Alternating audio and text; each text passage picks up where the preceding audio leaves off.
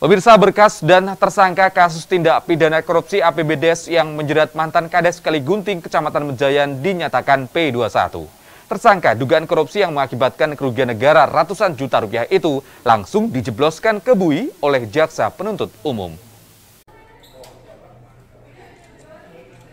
Dengan tangan terborgol, mantan Kepala Desa Kaligunting, Kecamatan Mejayan, Kabupaten Madiun Nur Amin, digelandang ke mobil untuk dilakukan penahanan pasca pelimpahan tahap 2. Dan usai menjalani pemeriksaan dan pencocokan barang bukti atas dugaan korupsi APBDes tahun 2016-2019 serta dinyatakan P21. Banyaknya modus korupsi yang dilakukan mantan Kades Kaligunting tersebut, pihak kejaksaan melakukan penelitian lebih dalam dan sebanyak dua box berkas yang dibawa oleh tim Tipikor Polres Madiun ke Kejaksaan Negeri Kabupaten Madiun. Kasus yang menyeret mantan Kepala Desa Kaligunting Nur Amin tersebut mengakibatkan negara mengalami kerugian sekitar 487 juta rupiah. Kasih Pitsus Kejari Kabupaten Madiun Purning Dahono Putro mengatakan, tim JPU melakukan penahanan terhadap tersangka selama 20 hari di Lapas Madiun. Selanjutnya pihaknya akan segera mengirimkan berkas perkara ke Pengadilan Tipikor Surabaya.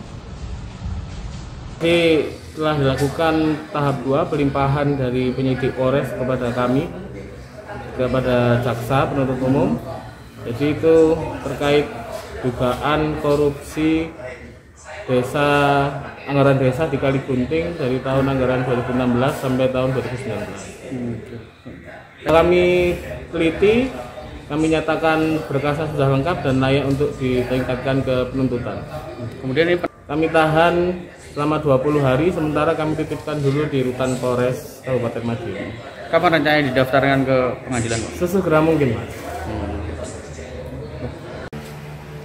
Atas kasus korupsi APBDes tahun anggaran 2016-2019 ini, tersangka Nur Amin dijerat dengan pasal 2 dan 3 Undang-Undang Pemberantasan Tindak Pidana Korupsi dengan ancaman hukuman maksimal 20 tahun penjara. Diketahui modus operandi yang dilakukan tersangka menyampaikan kepada bendahara desa bahwa proyek-proyek yang ada di desa tersebut telah ditalangi menggunakan uangnya sendiri dan meminta ganti kepada bendahara. Selain itu, tersangka Nur Amin juga diduga tega memotong honor kuli tukang bangunan dan termasuk gaji perangkat desa setempat. Tova Pradana, JTV, Madiun.